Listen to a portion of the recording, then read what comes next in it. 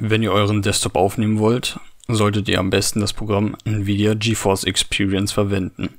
Das kann jeder Benutzer mit einer GeForce Grafikkarte installieren, wenn es nicht schon vorinstalliert ist. Habt ihr das Programm geöffnet, geht ihr auf meinen Rig und schaut, welche Grafikkarte ihr genau habt. Um die Aufnahmefunktion des Programms zu verwenden, muss bei der Grafikkarte ein GTX stehen. Anschließend könnt ihr hier auf Shadowplay klicken. Nun ist es noch ausgeschaltet. Man sieht es hier, wenn wir hier jetzt einmal raufklicken, dann dauert es ein paar Sekunden und die Funktion wird aktiviert.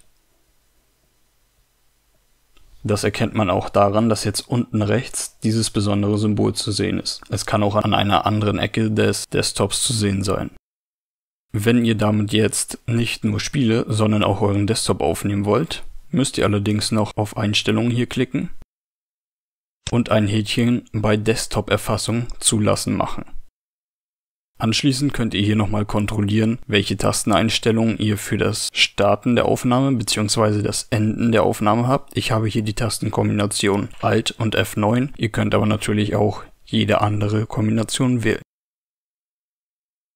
Diese Einstellungen sind immer gespeichert, das heißt, wir können das Fenster jetzt zumachen, bzw. einfach Shadowplay aufmachen und mit der ganz normalen Desktop-Aufnahme beginnen, indem wir Alt und F9 drücken. Wir sehen jetzt, dass sich das Symbol hier unten verändert hat. Es ist nämlich ein Kreis darin zu sehen, ein äh, grüner Kreis. Und wenn wir jetzt die Aufnahme wieder durch Alt und F9 beenden, geht dieser Kreis weg und es ist ein Speichersymbol zu erkennen.